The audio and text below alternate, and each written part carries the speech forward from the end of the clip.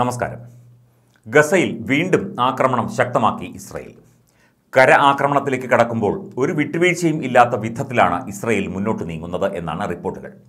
Gaza സിറ്റിക്ക് നേരെ കിഴക്ക് നിന്നും പടിഞ്ഞാറ് നിന്നുമായി ഇസ്രയേൽ സേന കര വ്യോമ ആക്രമണം ശക്തമാക്കി.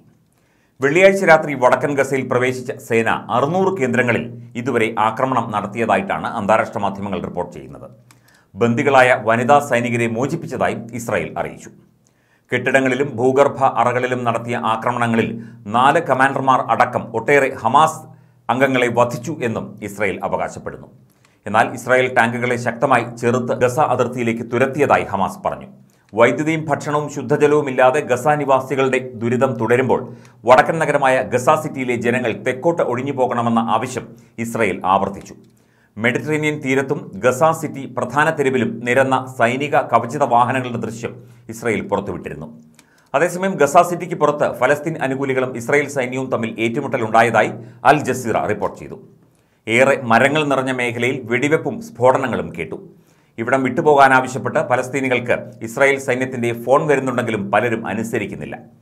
നേരത്തെ ഇവിടെ നിന്ന് നീങ്ങിയവർക്ക് നേരെയും ഇസ്രായേൽ ആക്രമണം നടത്തിയിരുന്നു. ഗസ സിറ്റി ഒഴിപ്പിക്കുക എന്ന ലക്ഷ്യത്തിൽ ഷെല്ലിംഗ് നടത്തുകയാണ് ഇസ്രായേൽ ടാങ്കറുകൾ. ഇവിടെ നിന്ന് പുറത്തേക്ക് പോകുന്ന വാഹനങ്ങൾക്ക് നേരെ ടാങ്കുകൾ വെടിയുതിർക്കുന്ന ദൃശ്യങ്ങളും പുറത്തു വന്നിരുന്നു. ഇതിനിടെ സംഘർഷം തുടങ്ങിയ ശേഷം ആദ്യമായി ലെബനനിലെ ഹിസ്ബുല്ല കരയിൽ നിന്ന് ആകാശത്തേക്ക് തൊടുക്കാവുന്ന മിസൈൽ ഉപയോഗിച്ച് ഇസ്രായേൽ ഡ്രോൺ തകർത്തു.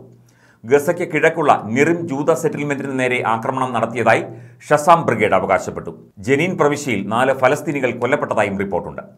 ഇസ്രായേൽ ആക്രമണങ്ങളിൽ ഗസയിൽ ഇതുവരെ മൂവായിരത്തി നാനൂറ്റി അൻപത്തിയേഴ് കുട്ടികൾ അടക്കം എണ്ണായിരത്തി മുന്നൂറ്റി ആറ് ഫലസ്തീൻകാർ കൊല്ലപ്പെട്ടതായിട്ടാണ് ഒടുവിൽ വരുന്ന റിപ്പോർട്ടുകൾ.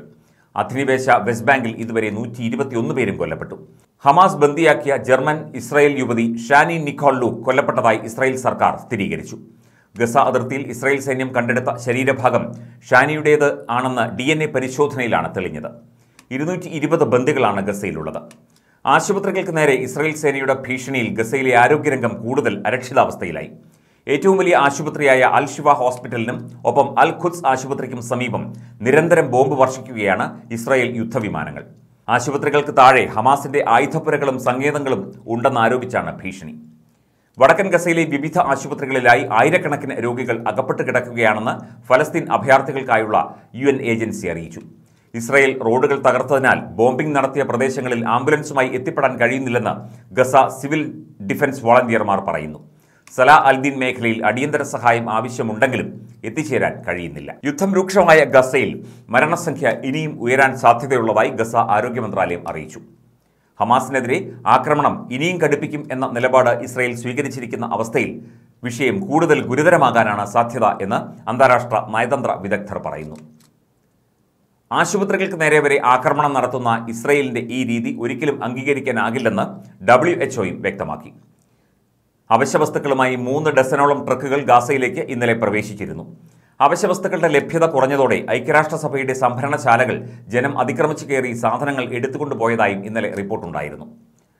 ഖാൻ യൂനിസ് ദൈർ അൽ ബല ഗാസ സിറ്റി തുടങ്ങി നാലിടങ്ങളിലെ അവശ്യവസ്തു സൂക്ഷിപ്പ് കേന്ദ്രങ്ങളിൽ കടന്നുകയറിയ ജനങ്ങൾ വിതരണത്തിനായുള്ള ധാന്യങ്ങൾ ഉൾപ്പെടെ എടുത്തുകൊണ്ടുപോയി എന്നാണ് റിപ്പോർട്ട്. യുദ്ധം തുടങ്ങുന്നതിന് മുമ്പും ശേഷവും ഗസയ്ക്ക് വേണ്ട അടിസ്ഥാന സൗകര്യങ്ങൾ നൽകുന്നത് ഫലസ്തീൻ കാര്യങ്ങൾക്കുള്ള ഉൻട്ര എന്ന യു ഏജൻസിയാണ്. യുദ്ധം തുടങ്ങിയ ശേഷം ഈജിപ്ത് വഴി ഗാസയിലെത്തിയ അവശ്യവസ്തുക്കൾ സൂക്ഷിച്ചിരുന്ന കെട്ടിടങ്ങളിലേക്കാണ് ജനങ്ങൾ ഇടിച്ചു കയറിയതെന്ന് ഉന്റ വക്താവ് ജൂലിയറ്റ് ടൗമ കഴിഞ്ഞ ദിവസം വ്യക്തമാക്കിയിരുന്നു.